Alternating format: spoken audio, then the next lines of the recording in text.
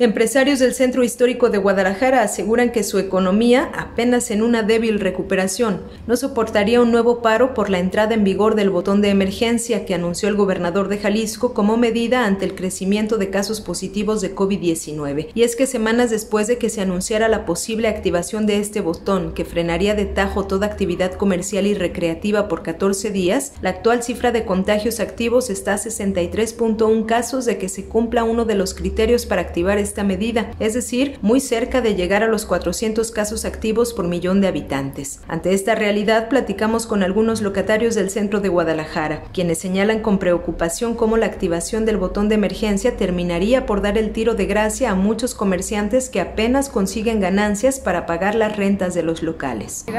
No, la verdad no estoy preparado, económicamente no estoy preparado, va a ser algo que me va a afectar a mí bastante pero pues primero la salud, ¿no? La salud de nuestra familia, hasta la salud de nuestros hijos, de, todas esas personas que nos rodean, pues tenemos que acatarlo y, hacerlo, ¿no? Nos va a afectar, pero tenemos que salir adelante de alguna u otra manera. Yo creo que de momento nadie estamos preparados para una situación igual a esa. Es muy complicado, ya tenemos desde marzo y, apenas la economía está como para sobrevivir, no para... 15 días más sería desastroso esto, sería muy malo apenas está medio que agarrando piso para reincorporarse a lo que era y... Apenas salimos con los gastos. Las rentas aquí en el centro son muy caras y encerrar 15 días, la verdad, ya es muy complicado. No, no creo que no creo que lo pudiéramos soportar.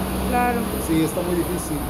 ¿Y qué opina usted de esta alternativa? Porque estamos muy cerca de llegar a los casos límite que fijó el gobierno para activar este famoso botón pues también lo veo por el lado por el lado de las personas pues que no hacen caso el, cuidarse y todo esto pues son los que nos van a llevar a, a, tomar esa decisión pues de cerrar pero pero económicamente está mal aunque sanitariamente pues también hay que hacer algo. Los comerciantes entrevistados coincidieron en señalar que la mayor responsabilidad cae en el terreno de los ciudadanos, quienes son los factores primarios para contener la propagación del nuevo virus a través de las medidas de prevención e higiene. Sin embargo, no todos hacen su tarea cívica de cuidarse a sí mismos y al resto de personas con las que conviven en el hogar, el trabajo o el espacio público. Los dos casos aseguraron que durante su jornada laboral en el primer cuadro de la ciudad es fácil notar cómo entre un 50 y hasta un 80% de los transeúntes no utilizan los cubrebocas o no mantienen la distancia entre una persona y otra. Señal informativa, Celia Niño.